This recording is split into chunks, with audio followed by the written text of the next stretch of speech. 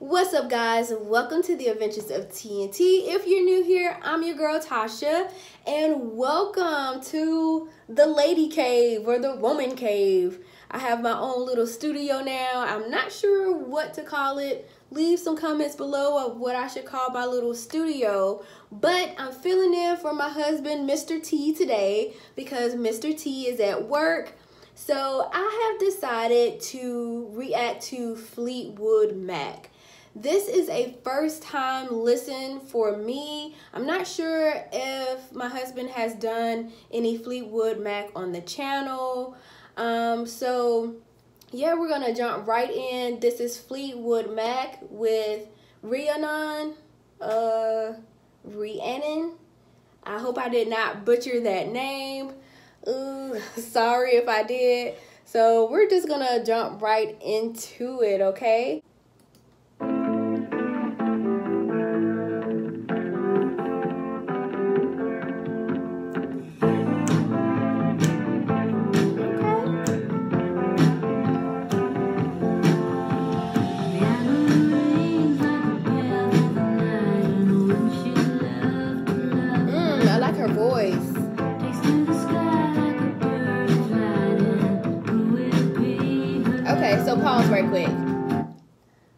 I was not expecting a female lead.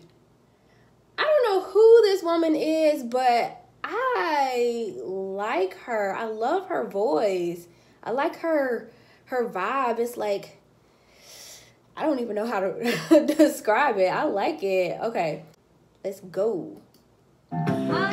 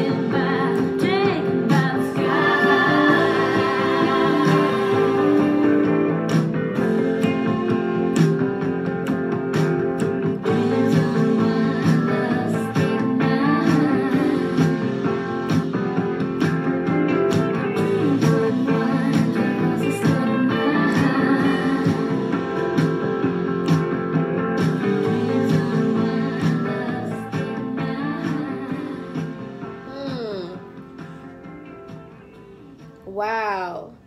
So, the feeling that I got from this, the one word that came to mind was bewitching. I, the lead singer and how she sings the song and the lyrics, it's just is bewitching. That's the only thing that I can say. It says she is like a cat in the dark, and then she is the darkness. And so it's almost like this woman, she pulls you in. It's like, uh, like she's a, a witch, you know? Uh, she pulls you in and she rules her life like a fine skylark and when the sky is starless. And it's asking would you stay if she promised you heaven? Will you ever win? And so it's like a losing battle. You cannot win against this woman because she'll put you under her spell. And like listening to this song and listening to the lead singer's voice, I was like in a rapture. It was just, I mean, and at the end, it's so fitting saying dreams unwind, love's a state of mind. And, you know, that's the only word that I can come up with is bewitching. I this this was this was wow. That's all I can say. So I I think I'm gonna listen more to some more Fleetwood Mac because first of all I was not expecting a female lead.